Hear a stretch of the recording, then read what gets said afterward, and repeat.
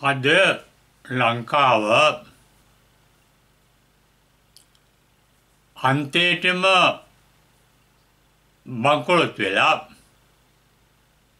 අන්ත අසරණ තත්ත්වයකට පත්වීමට හේතු වන්නේ හේතු වෙලා තියෙන්නේ අවුරුදු 74ක් තිස්සේ රාජ්‍ය පාලනය ගෙන ගිය දේශපාලකයන් හා රාජ්‍ය නිලධාරීන්. ඔවුන් වෙත යුක්ති ධර්මයෙන් පැවරී තිබෙන යුතුකම් හා වගකීම් පැහැරහැරීම බව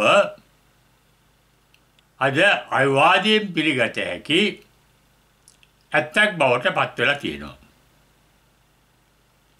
ඒ වුණාට දැනට රටේ පාලනයට පදනම් වෙන එක්දස් නම්සේ හැත්ත හටේ ආණුක්‍රම ව්‍යවස්ථාවේ හයනි පරිච්ඡේදයේ එන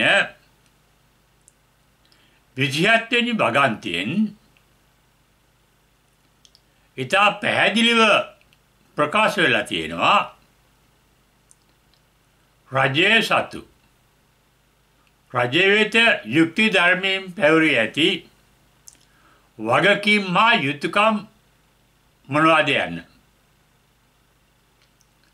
ඒ වුණාට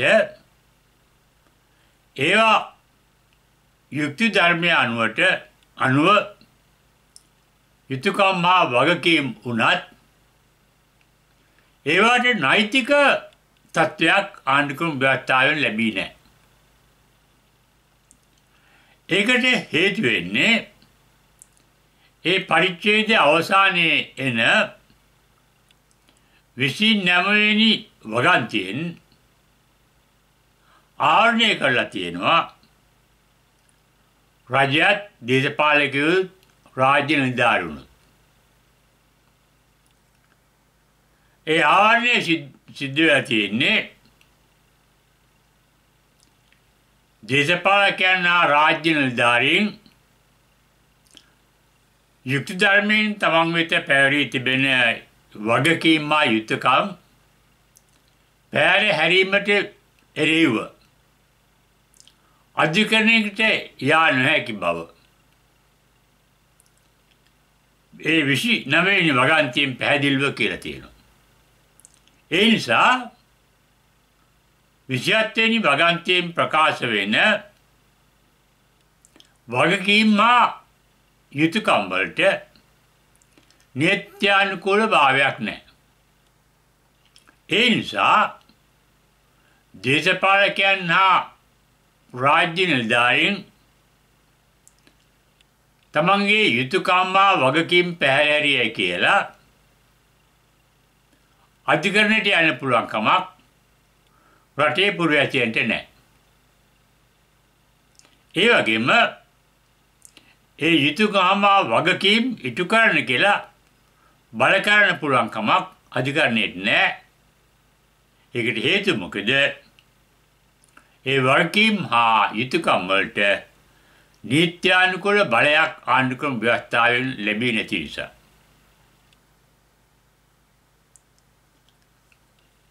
ජන අරගලය දෙදා සිසිදකේ අප්‍රේල් නමයින්දා ගෝල් ප්ලේස් පිට්ටනී ආරම්භ වෙච්ච ජන අරගලයේ ප්‍රධාන ඉල්ලිම වුණේ. අරගලය කරන. මේ පවතින පාලතන්ත්‍ර ක්‍රමය ක්‍රමවිදි ක්‍රමෝපායන් වෙනස් කරලා රටේ ගැලපෙන ක්‍රමවිදි සකස් කළ යුතුයි කියන එක. ඒ නිසා කළ යුතු දෙයක් තමා රාජ්‍ය නිලධාරීන් හා දේශපාලකයන් වෙත ආණ්ඩුක්‍රම ව්‍යවස්ථාවෙන්ම පැවරී ඇති යුතුකම් හා වගකීම් ඔවුන් ඉටි නොකළොත් ඔවුන්ට එරෙහිව අධිකරණයට යා හැකි ප්‍රතිපාදන ආණ්ඩුක්‍රම ව්‍යවස්ථාවේ තියෙන්න ඕනේ. ඒ සඳහා කළ යුතු වන්නේ විසි නමවෙනි වගන්තිය මම කලින් සඳහන් කළ. දේශපාලකයන්ට රාජ්‍ය නිලධාරීන්ට වකීම් පැහැරහැරි සම්බන්ධයෙන් පැවරී ඇති ආවරණය ඉවත් කරන්න ඕන. අන්න එතකොට ඔවුන් යුක්තිධර්මයෙන් පමණක් නොවෙයි නීතියනුත් බැඳී තියෙනවා ඔවුන් සතු වගකීම්මා යුතුකම් නොපිරිහෙලා ඉටු කරන්න. ඒ සඳහා ඔවුන් පුරවැසියන්ගේ යටහත් සේවකයන් බවට පත්වෙන්ට ඕන. ඉංග්‍රීසි පාලන කාලයේදී. ඉතාම උසස් මට්ටමේ රාජ්‍ය නිලධාරියෙක් වුණත් සාමාන්‍ය පුරවැසියෙකුට ලියුමක් එවන්නේ මේ ඔබේ යටහත් සේවක කියලා yours obedient servant කියලා අසං කළා. අන්න ඒ අදහස ක්‍රියාත්මක විය යුතුයි දේශපාලකයන්ගෙනුත් රාජ්‍ය නිලධාරීන්ගෙනුත්. ඒ සඳහා අවශ්‍ය නීති රීති සම්පාදනය විය යුතුයි. ගෝල්පේස් අරගලය අපේක්ෂා කරන සිිස්ටම් චේන් කියන ක්‍රමවිදිවල වෙනසක් ඇති කිරීමේ පදනම් විය යුත්තේ දේශපාලකයන් හා රාජ්‍ය නිලධාරීන් ඔවුන්ගේ යුතුකම් හා වගකීම් නොපිහිලා ඉටු කිරීම. ඒ වුණාට දැන් තියෙන තත්ත්වයට රටපත් වනේ රාජ්‍ය නිලධාරීන්ට වඩා දේශපාලකයන්ගේ පැහැර හැරීම් නිසයි. දේශපාලකයට වගකීමක් තියෙනවා තමන් යටතේ සේවය කරන රාජ්‍ය නිලධාරීන් හරියාකාරව කටයුතු කිරීම විමසා බලා නිසි පියවර ගැනීම. ඒත් දේශපාලකවරුත් හොරකම් කරන රාජ්‍ය නිලධාරීත් හොරකම් කරන තත්ත්වයකට රටපත් වෙලා තියෙනවා. ඔවුන් වෙත ආණ්ඩුක ව්‍යවස්ථාවෙන් පැවිල්ල තියෙන ආවරණය යටතේ. මේ තත්ත්වය වෙනස් යුතුයි. සිස්ටම් චේන්ජ් කියන අපේක්ෂාට ක්‍රමවිදි වෙනස් කිරීමේ පදනම් විය යුත්තේ රාජ්‍ය නිලධාරීන් හා දේශපාලකයන් තමන්ගේ යුතුකම් මා වගකීම් හරියාකාරව ඉටු කිරීමයි. ඒ වුණාට මේ රට අවුරුදු 70ක් තිස්සේ බංගලොත් තත්ත්වයට එනකන් කාබාසිනය කළේ දේශපාලකයන් නිසා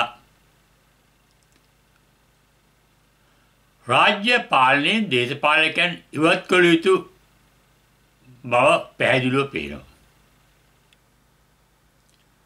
ඒ දේශපාලකයන් බිහි කරන දේශපාලන පක්ෂ වලට රාජ්‍ය බය ලැබීම වැළැක්විය යුතුයි. දේශපාලන පක්ෂ නිසා රට ભેද බිඳ වෙලා තියෙනවා. ජාති වශයෙන්, කුල වශයෙන්, භාෂා ආදී වශයෙන් රට ભેද බිඳ වෙලා තියෙනවා. මතිපතාන්තර හා වාද විවාද අනුව රට ભેද වෙලා තියෙනවා. ඒ නිසා පාර්ලිමේන්තුවේ ඇතුළේ දේශපාලනයෙන් එක් වෙන ඔවුනොන් කුලල් කා ගන්න බලු පොරේක ස්වභාවය. ඒ තත්ත්වය වෙනස් විය යුතුයි. ඒ තත්ත්වය වෙනස් වෙන්නේ නම් අඩු ගානේ අටවත් සමත් නැති නූගත් දේශපාලකයන්ට රාජ්‍ය බලය ලැබීම වැයකිය යුතුයි. ඒ සඳහා ක්‍රමවිධි සකස් විය යුතුයි. ඒ වගේම සුදුස්සන්ට සුදුස්සන් ලැබෙන විදිහේ ක්‍රම විදියක් සකස් විය යුතුයි. රජයක් ගෙන යන්න අවශ්‍ය අංශ තුනක් තියෙනවා. බ්‍රත්තාදායකයක් විදායකයක් අධිකරණයක්. ඒ තුන අතර චෙක් ඇන් බැලන්ස් කියලා ඉංග්‍රීසියෙන් කියන. අන්‍යෝන්‍ය පාලන ක්‍රමයක් තියෙන්න ඕනේ. හිතුවක්කාර විදිහට ව්‍රතාදායකයටවත් විදායකයටවත් අධිකරණයටවත් කටයුතු කරන්න බැරි විදිහට නීතිය ආධිපත්‍ය සුරක්ෂිත විය යුතුයි. ඒ සඳහා ජාතික ප්‍රතිපත්තිය සකස් විය යුතුයි. ජන අරගලේ මූලික අරමුණ ඉටු කරන්න ඒ විදිහේ ජාතික ප්‍රතිපත්තියක් සකස් කිරීම ඉතා අවශ්‍යයි. ඒ ජාතික ප්‍රතිපත්තියට අනුව ආණුකම් පනතක් සකස් කරගත යුතුයි. ආයතන සකස් කර යුතුයි ගත යුතුයි. ඒ වගේම දැන්ට පවතින විදිහට විධායක බලයත් ව්‍යවස්ථාදායක බලයත් අධිකරණ බලයත් කේන්ද්‍රගත වෙලා තියෙන පාර්ලිමේන්තු ක්‍රමය අවශ්‍ය විය යුතුයි. විධායකයත් ව්‍යවස්ථාදායකයත් අධිකරණයත් ස්වාධීන අය යුතුයි. ඒ වගේම ඒ ආයතනවල හිතුවක්කාරව කටයුතු කළ නොහැකි පරිදි ඔවුනොන් කෙරෙහි බැඳී සිටිය යුතුයි. ව්‍යවස්ථාදායකය වරදක් කරනවා නම්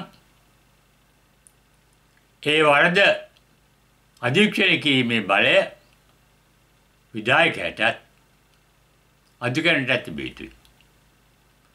විදායකයක් වරදක් කරනවා නම් ඒ පිළිබඳ අධීක්ෂණය කිරීමේ බලය